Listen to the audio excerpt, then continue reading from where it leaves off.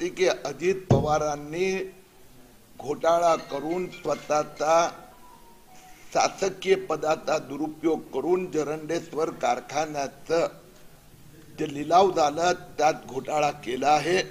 मुंबई उच्च न्यायालयाने ईडी आणि पोलिसांना चौकशी करायला सांगितली आहेत. उद्धव ठाकरे यांची पोलीस चौकशी म्हणजे बनवा बनवी आहेत. मला विश्वास आहे ईडी आणि हायकोर्ट हा कारखाना कुणाचा?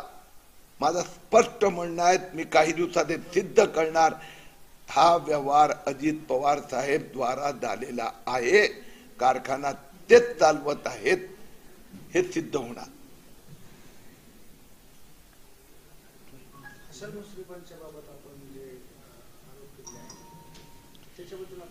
पहिली गोष्ट मी कधी कोणाबद्दल एकदाही आयुष्यात आरोप केले नाही.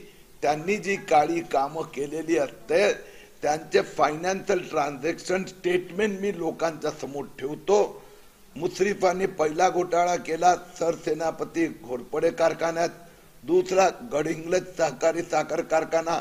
तिसरा ग्राम पंचायत ग्राम विकास मंत्रालयाने स्वतःचा कॉन्ट्रॅक्ट स्वतःचा कंपनीला जावयाचा कंपनीला पंधराशे कोटीचा कॉन्ट्रॅक्ट दिला.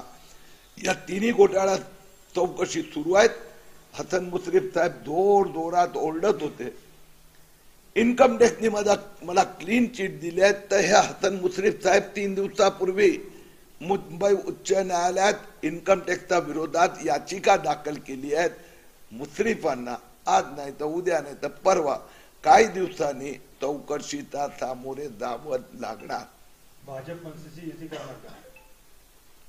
सॉरी भाजप मनसेसोबत युती करणार आहे का? मनसेसोबत जाणार आहे भाजपाचे महाराष्ट्राचा साडेबारा कोटी लोकांसोबत मनसे युती है आमची युती वफादारी जबाबदारी महाराष्ट्राचा साडेबारा कोटी जनतेशी आहे.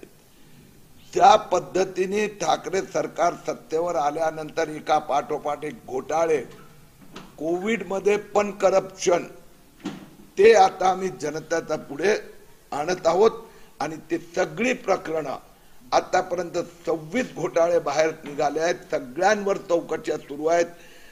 एकतीस डिसेंबर पर्यंत उद्धव ठाकरेंचं सरकार अलिबाबा चाळीस चोरचं सरकार चाळीस घोटाळे आणि मार्गी लागणार. भाजप आणि एनसीबी सोबत कारवाई करते असं आरोप या घोटाळेबाजांना ठाकरे साहेब पवार साहेबांचा